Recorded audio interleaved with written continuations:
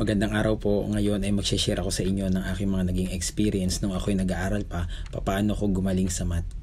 Ah, sorry po. Hindi pala magaling. Ah, paano ako naging okay sa math? Ayoko po sabihin magaling sa math. Okay, okay lang. So, nung ako po ay nag-aaral, meron ako mga sinun- sinunod na panuntunan.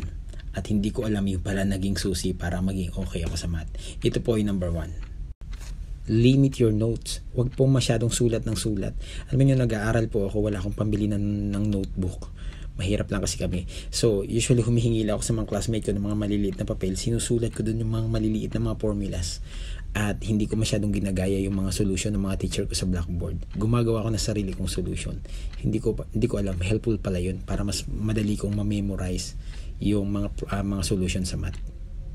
Ito po yung number 2. Read, read, and read basa lang po ako ng basa noon nung ako nag-aaral. Lagi ako sa, sa library kasi wala akong pang recess. so pag time ng recess, ah, pupunta ako sa library. Magtatago ako sa mga classmate ko.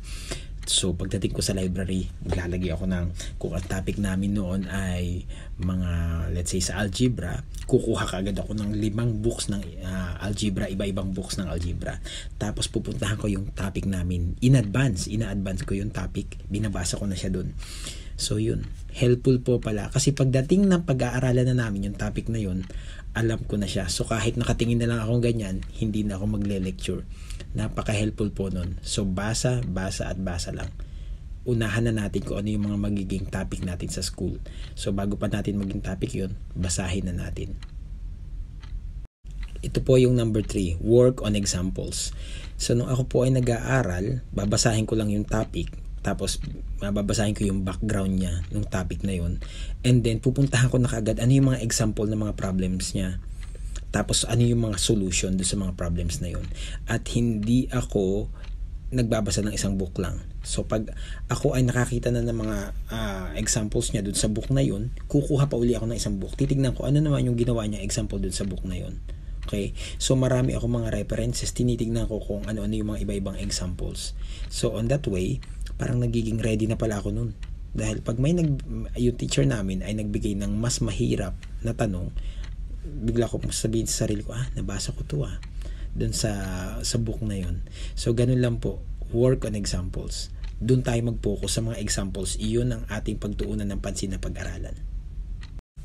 Ito po yung number 4. Work on your weaknesses pag-aralan nating mabuti kung saan tayo mahina, kung sa ano yung mga problems na hindi natin ka, hirap tayong isolve kumbaga.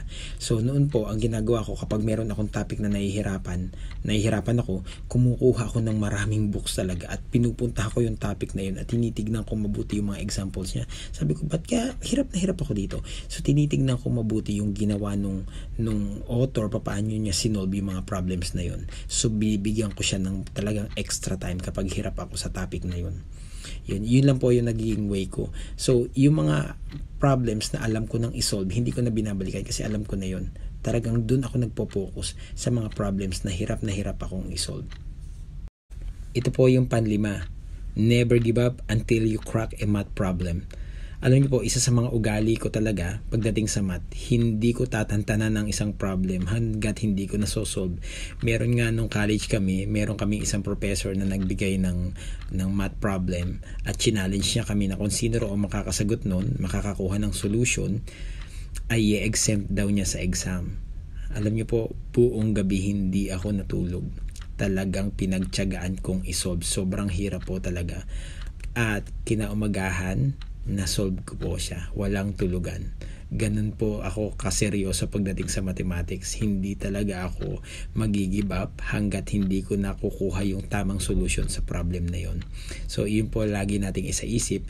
Huwag uh, gigive up, huwag mawawalan ng pag-asa. Ito po yung pang-anim, always ask why. So, nung ako ay nag-aaral, lagi ako nagtatanong yan, bakit? Kapag nakakita ko ng solution, bakit? Anong nangyari? Yung hindi ako ma hindi ako makali. Talagang tat bubusisiin ko siyang mabuti kung papaano niya ginawa yun, bakit naging ganun yung sagot at bakit niya papaano siya nakakam up sa ganoong uh, uh, sagot. So, lagi ganun ang aking attitude. Laging, laging yun ang attitude ko. Tanong ako lagi ng tanong, bakit? So, kapag mayroong problem, tas nakita ko yung solution, bakit naging ganito? So, magbubuklat na naman ako ng isang reference. At tatanin ko naman, ah, magbabasa ako. So, doon ko nakikita, doon ko napipigure out yung mga technique, mga solution, at nakaka-create din ako ng sarili kong technique. So, yun lang ang susi. Bakit? At ito po ang panghuli at pampitong technique na gusto kong i-share sa inyo. Enjoy math.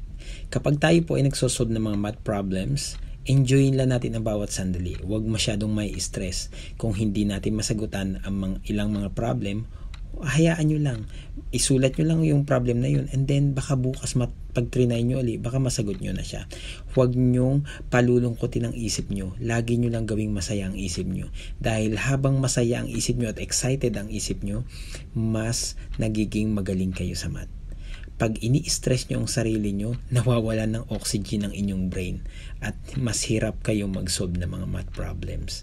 So, yan po ang mga technique na gusto kong uh, i-share sa inyo. Sana po ay makatulong ng malaki, lalo na sa mga estudyante.